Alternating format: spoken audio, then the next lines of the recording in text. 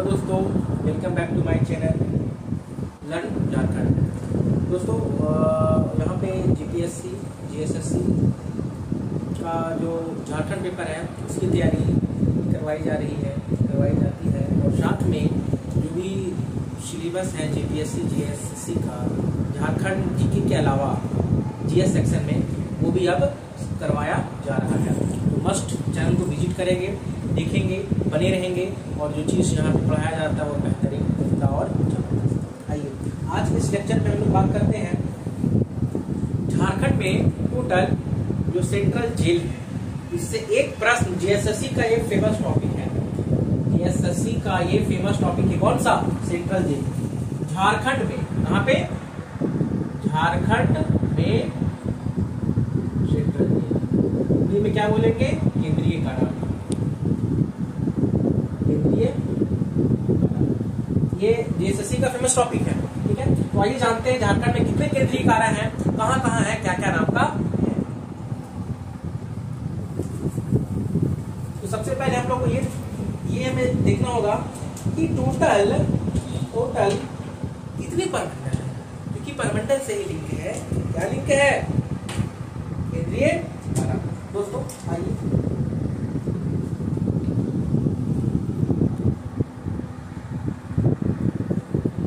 Central jail केंद्रीय कारागार।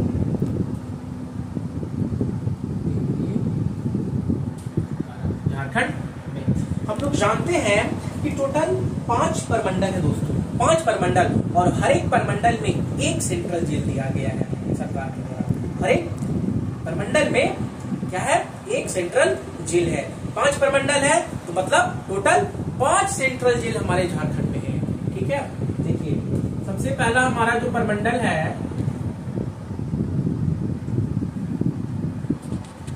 उत्तरी।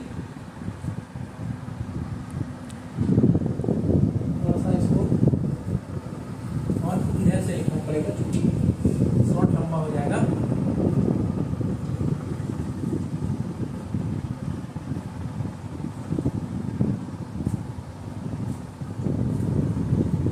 छोटा नाम ठीक है है हमारा एक परमंडल, पहले टोटल लिख लेते हैं। परमंडल ठीक है उसके बाद छोटा नागपुर। संथाल, परगना परमंडल। ठीक ना उसके बाद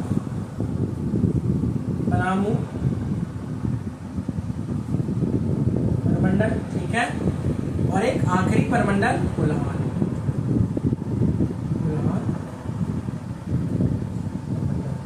परमंडल लिख लेते हैं आप लोग समझ जाइएगा ठीक है देखिए उत्तरी छोटा नागपुर जो परमंडल है, इसका मुख्यालय कहाँ है? हर एक मुख्यालय में, सेंट्रल जेल है। तो छोटा नागपुर जो है परमंडल इसका मुख्यालय कहाँ है? हजारीबाग। तो हजारीबाग में क्या है? एक सेंट्रल जेल है, जिसका नाम क्या है? जय प्रकाश नारायण जय प्रकाश नारायण केंद्रीय कारागार। ठीक है तो जय प्रकाश नारायण केंद्रीय कारा कहाँ पे दोस्तों? हजारीबाग में है। और हजारीबाग, उत्तरी छोटा नागपुर परमंडल का हेडक्वार्टर मुख्यालय भी है। आगे है दक्षिण छोटा नागपुर परमंडल ये है, इसका हेडक्वार्टर कहाँ है? इसका हेडक्वार्टर है रांची। है दोस्तों, इसका हेडक्वार्टर इसका मुख्यालय है रांची में। तो रांची में जो हमारा दोस्तों जेल है, वो है रांची में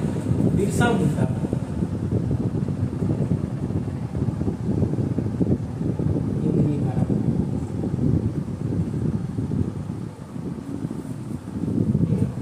संथाल परगना जो परमंडल, इसका हेडक्वार्टर कहाँ है?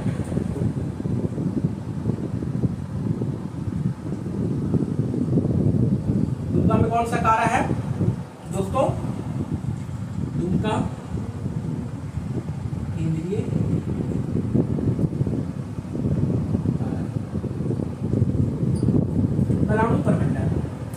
परमंडल का मुख्यालय कहाँ है? मेदिनीनगर मेदिनीनगर यहाँ पे कौन सा सेंट्रल जेल का नाम क्या है? पलामू केंद्रीय। और एक कुल्हान परमंडल, इसका मुख्यालय कहाँ है? इसका दोस्तों, मुख्यालय जो है, वो है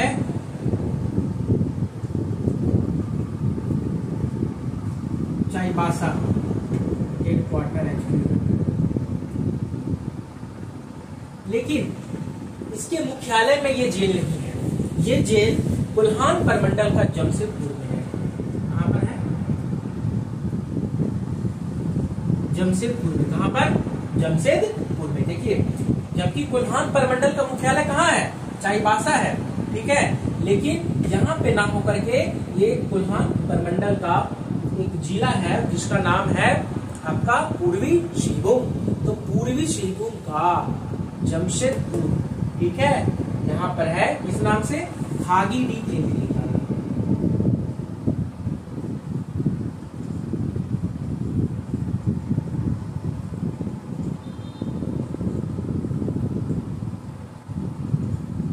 डी केंद्रीय कारा जमशेदपुर, ठीक है?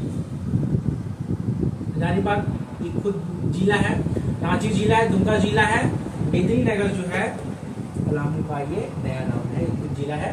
जमशेदपुर ये जिला नहीं है, ये शहर है, कहाँ पर है ये शहर? पूर्वी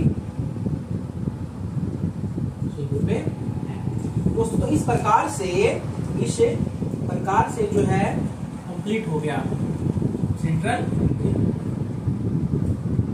अब आपको ये एग्ज़ाम में सड़क से पूछ देगा कि बताइए घाघीडी केंद्रीय कारक कहाँ पर है? चार ऑप्शन रहेगा, आपको याद रहेगा, माइंड में तुरंत आपको जवाब दे देना है। बस इतना ध्यान रखना है कि परमंडल का मुख्यालय जहाँ रहेगा, वहाँ केंद्रीय कारक। सिर्फ़ एक छोड़ करके कौन सा पूर्वांचल बाकी दुमका का तो दुमका का नाम से ही आपको ध्यान रहेगा। ठीक ना?